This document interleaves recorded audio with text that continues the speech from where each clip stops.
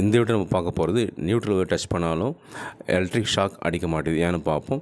Electric அதுக்கு முன்னாடி electric ஷாக்னா என்னன்னு தெரிஞ்சுக்கணும் ஓகே எலக்ட்ரிக் ஷாக்னா மனிதன் வந்து ஒரு லைவ் ஒரு டச் பண்ணும்போது அவன் பாடி வழியாக கரண்ட் ஃப்ளோ ஆகிறது தான் electric shock okay suppose body வந்து கிரவுண்டில் இல்லைன்னா ச நடுவில் தான் இன்ஸ்ட்ருமெண்ட்டில் இருந்தால் கரண்ட் ஷாக் அடிக்காது. ஏன்னா கரண்ட் ஃப்ளோ எந்த ஒரு லோடுக்கு அக்ராஸ் வோல்டேஜ் அப்ளை பண்ணால் தான் கரண்ட் ஃப்ளோ ஆகும். ஓகே அதாவது மனுஷனோட பாடிக்கு அக்ராஸ் வோல்டேஜ் அப்ளை ஆனால் தான் கரண்ட் ஃப்ளோ அதுதான் எலக்ட்ரிக் ஷாக் நம்ம சொல்கிறோம் ஓகே வோல்டேஜ்னா என்ன? Potential difference between two points okay இப்போ இந்த மனிதன் வந்து ஃபேஸ் வே டச் பண்ணுறாரு அவரோட கால் வந்து எர்த்தில் இருக்குது.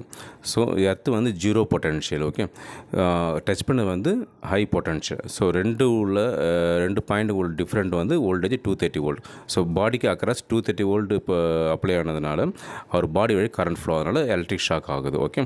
அவர் எலக்ட்ரிக் ஷாக் சென்ஸ் பண்ணுறாரு அதுவே இந்த மனிதன் வந்து நியூட்ரல் ஒன்றை டச் பண்ணுறாப்புல நியூட்ரல் ஒயரை டச் பண்ணும்பொழுது அவர் எர்த்தில் இருக்கார். எர்த்தோ எர்த்தும் நியூட்ரலும் வந்து இங்கே ஆல்ரெடி ஷார்ட்டில் இருக்குது. மற்ற எர்த்திங் ஆகிருக்கு ஸோ ரெண்டுமே ஜீரோ பொட்டன்ஷியல்ன்றதுனால இப்போ கரண்ட் ஃப்ளோ அந்த அவரோட பாடிக்கு அக்ராஸ் எந்த ஒரு வோல்டேஜையும் கிடையாது. ஓகே பொட்டன்ஷியல் டிஃப்ரென்ஸ் கிடையாது. ஸோ அதனால் வந்து பாடி வழியாக கரண்ட் ஃப்ளோ ஆகாது எலக்ட்ரிக் ஷாக்கும் இருக்காது. ஓகே சப்போஸ் இங்கே நியூட்ரல் வந்து கட் ஆகி போச்சுங்க எர்த்தோட கட் ஆகி போச்சுன்னு வச்சுங்க ஓகே நியூட்ரலில் வந்து வோல்டேஜ் சம் வோல்டேஜ் இருக்கும் அங்கே.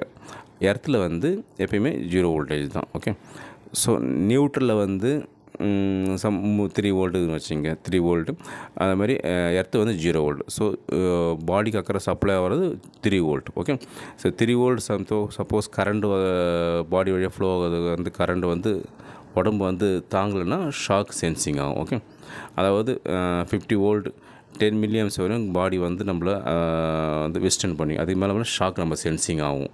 ஓகே நியூட்ரல் பாயிண்ட்டை எர்த்திங் பண்ணுறது ரொம்ப ரொம்ப அவசியம். அப்படி எர்த்து பண்ணலைன்னா ஷாக் அடிக்க சான்ஸ் இருக்குது ஓகே ஏன்னா அன்பேலன்ஸ் வோல்டேஜ் எது வந்தாலும் வோல்டேஜ் டிஃப்ரெண்ட் ஆகி பாடியில் எலக்ட்ரான் ஃப்ளோ ஆகும் கரண்ட் ஃப்ளோ ஆகும். இப்போ இன்னொரு எக்ஸாம்பிள் உங்களுக்கு கிளியர் பண்ணிடுறேன்.